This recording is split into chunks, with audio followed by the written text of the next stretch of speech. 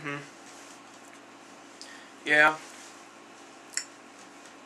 Okay, I'm just gonna stop you right here. So what you're saying is, workers are doing a good job, we're making money, but we could make more money if we closed down the plant and moved it to somewhere. No, no, no, listen.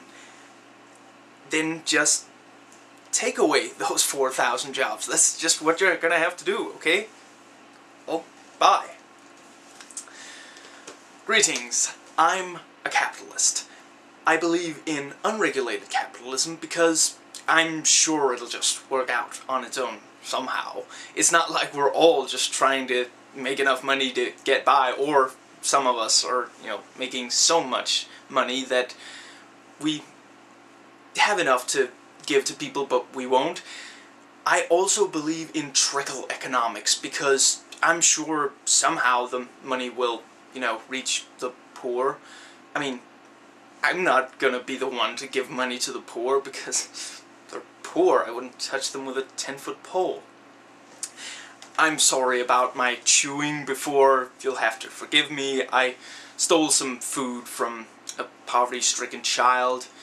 He started wailing, screaming about how he was gonna go hungry tonight and, you know, single parent, only, you know, a mother to support him. She has two or three jobs. I wasn't gonna stand around and listen to that. I've, you know, time is money.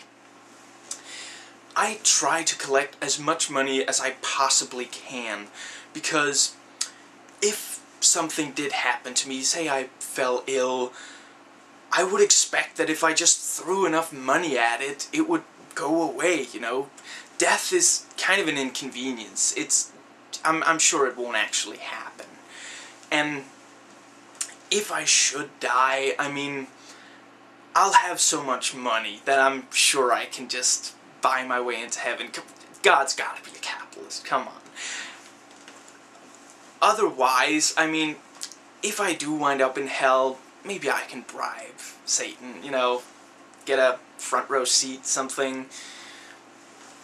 I mean, it's not like three of the seven deadly sins are pride, greed, and gluttony. Come on, it's not one of the Ten Commandments that you shouldn't have any other gods, even though I do devote far more time to, you know, getting money, even though I have more than enough, than to, you know, praising God, even though I call myself a Christian. And I'm sure Jesus didn't actually say something like, you know, that you shouldn't let money be your God. I also want to make absolutely clear I'm very much against socialism. I don't really know what it is, but I'm against it.